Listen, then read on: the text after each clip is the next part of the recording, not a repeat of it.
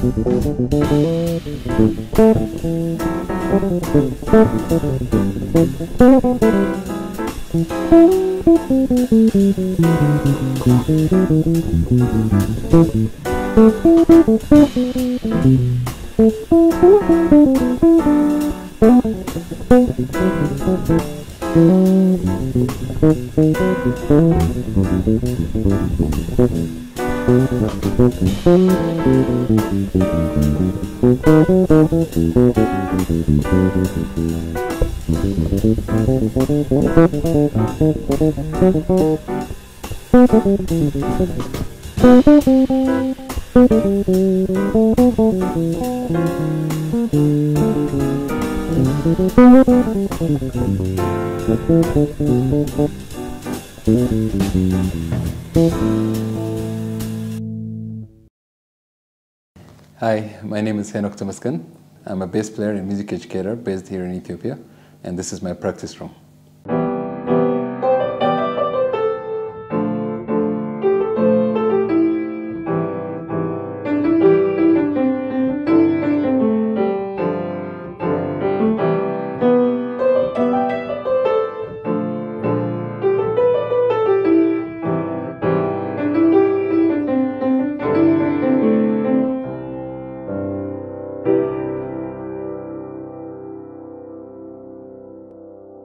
As bass players, uh, our function, our job is to play the groove. Uh, we hardly have a chance to play solos unless we're playing maybe in a, in a jazz vein or so. Uh, especially playing with singers, our part is playing uh, groove playing most of the time. Uh, the topic for today's uh, theme of what I'm speaking about is why soloing or playing solo is very important for musicians. Uh, even though we don't get to solo on songs, playing solo is good for bass players and any musician for that matter.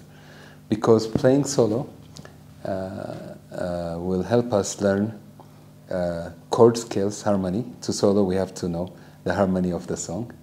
And also, uh, we have to have good time and rhythm, sense of time. And we also have to know the form of the song and uh, at the same time, we also have to create, soloing is creating in this moment a melody or a composition uh, in this instant without any preparation. So we're asking our mind to do four or five different things at the same time.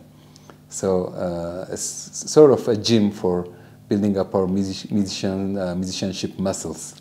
So our time will be great, our rhythm will be great. We'll have a good concept of the harmony of the song we're working on. We have to know the melody. So soloing uh, will enhance all these things. That's why we, all musicians should learn how to solo.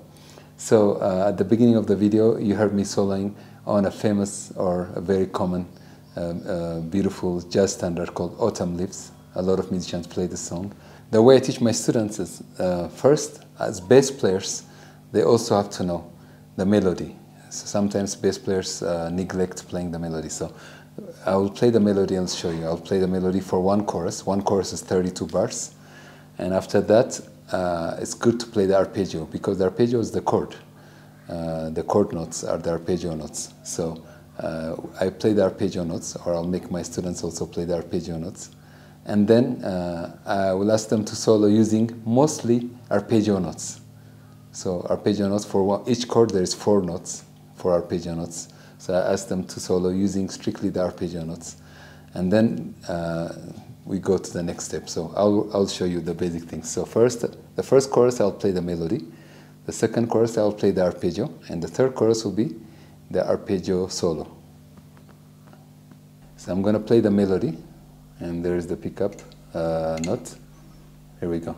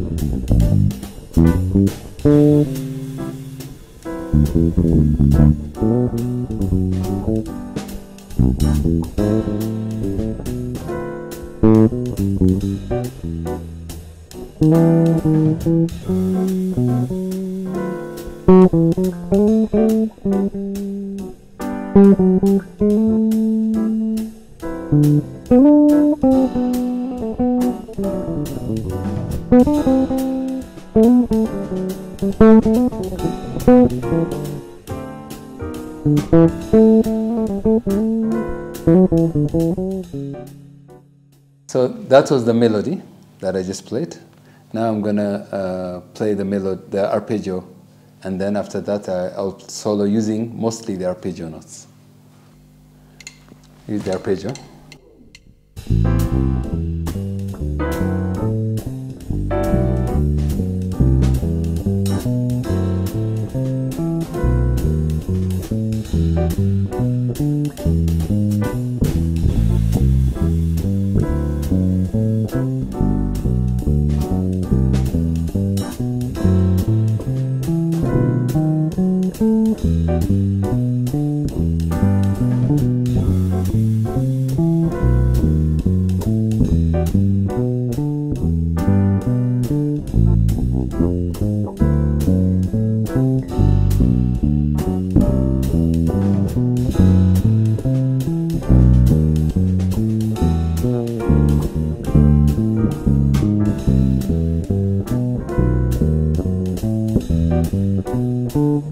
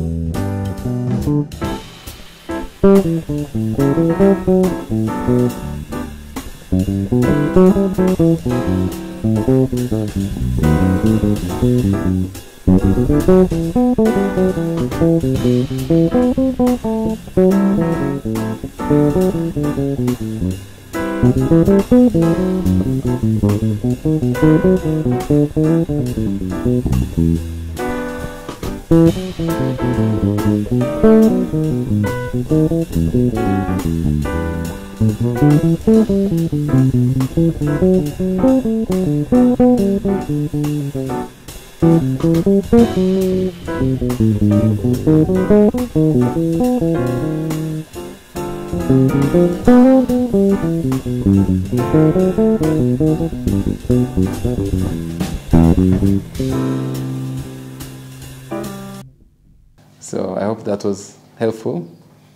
Uh, I'll see you next time.